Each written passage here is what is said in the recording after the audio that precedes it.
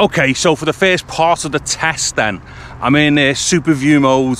So basically, when you're in this mode with the max lens mod, you've only got two fields of view open to you, and that is the super view and also the wide. Now, I wouldn't normally shoot with super view, but because I'm testing these things, I might as well test it whilst I'm at it. Plus also as well, it's arguable that the wider the field of view that you're using here, the better the picture quality is gonna be because there's less punching into the sensor. And of course, when we're in this particular mode, our max resolution is only 2.7K.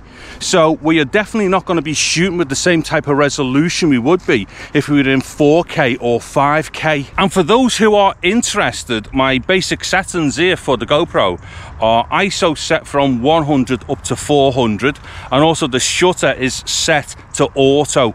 Now between that ISO range and the shutter being on auto, especially for the conditions that I'm in here, that should give the exposure routine the best kind of setting it can do, you know, within like those automatic settings. Because don't forget, when I do these things, I generally go for full on automatic as far as any exposure routine is concerned.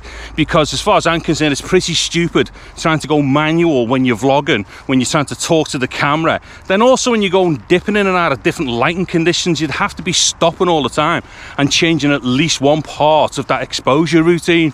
So yeah, as far as the exposure is concerned, that's it there. Now, I'm also in GoPro color as well. And the reason for that is, is because I really do need to try and get used to GoPro color um, because it's obviously the fastest way to edit GoPro footage because you're not having to tool about with it in post-production as you would do with say you know the flat mode and stuff like that However, what I would say is it almost becomes a bit of a farce when you're in GoPro color and you do try to touch it up in post with the color corrector because something to do with the color, maybe mad green grass or orange flared skin is kind of doing your head in that much that you've got to go and grade it anyway, or at least try and kind of desaturate something.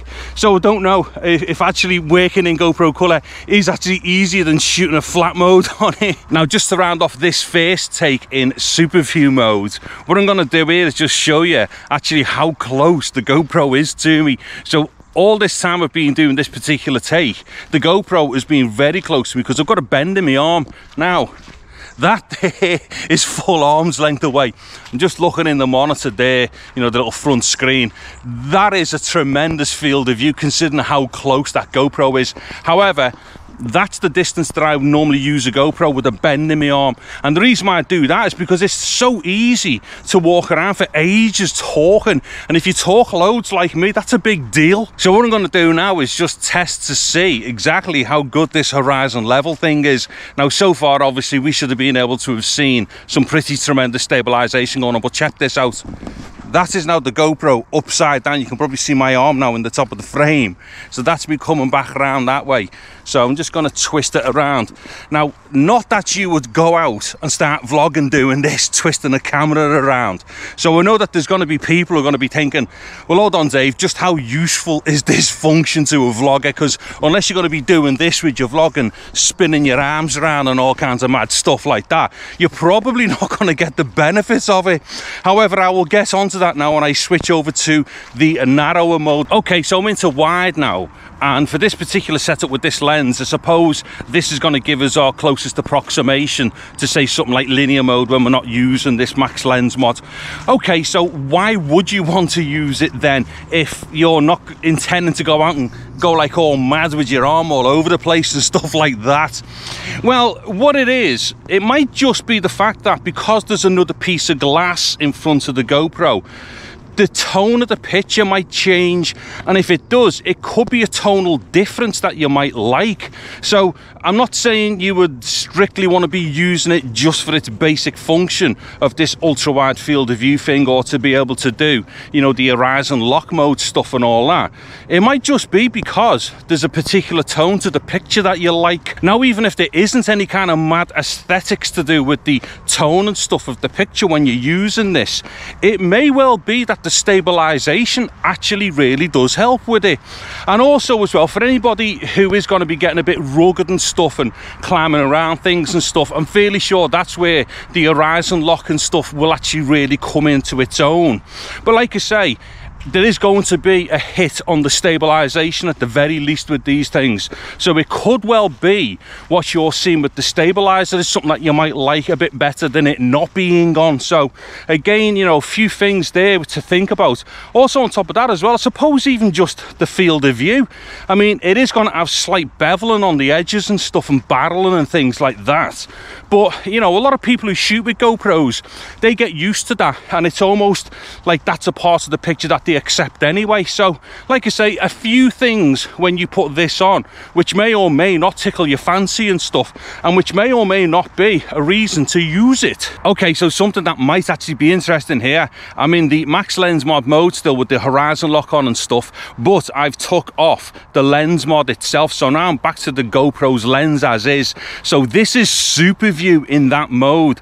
And of course, the reason why that mode works with the lens mod is because it needs an ultra wide field of view to cut it right down so it can reshape and whatnot and hold for that center so when it spins it round it stays in place. So we can do this with the lens as it stands but the big difference is look how close I am to the lens and stuff. Now I don't know as well whether or not the pictures will have changed that much either but this is in the widest super view mode. Now check this out. This is now wide mode with the standard lens on. So as you can see the field of view right now is probably something like you get on a Sony ZV-1 which just isn't at all good for vlogging.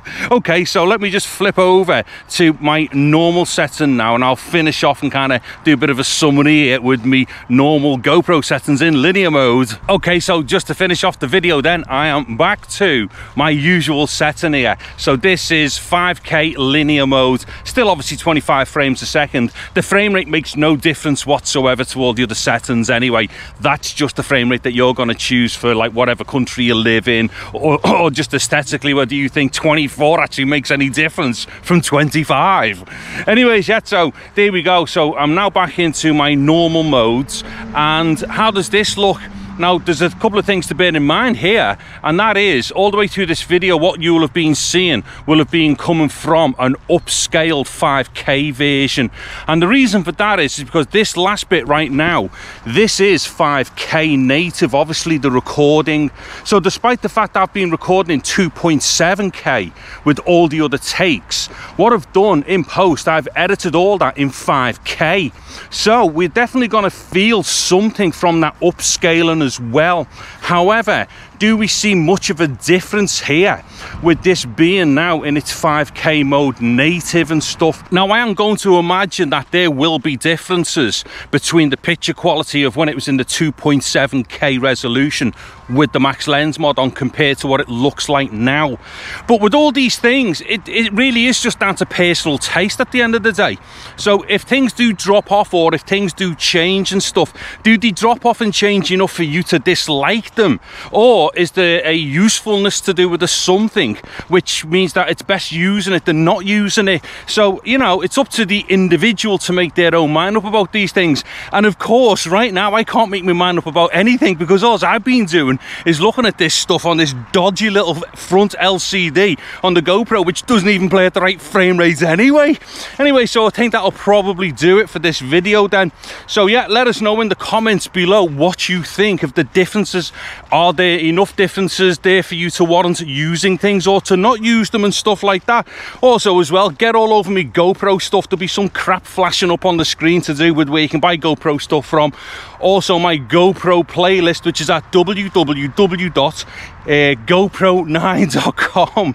Also, if you've liked the video, please consider giving it a big thumbs up. If you've really liked the video, subscribe to my channel and all that stuff. Anywho, I've got to get off because I've got a big bag of microphones here. So I've actually come out with this GoPro, my ZV-1 to do some stuff. So if you're interested in some mic things, check out the video after this one or a couple of videos after this one. Hopefully there's going to be something quite interesting to do with using the internal mic as I have been on this video compared to using external microphones. Anyways, I'm David Harry. Thank you very much for watching this video. Take care and goodbye now.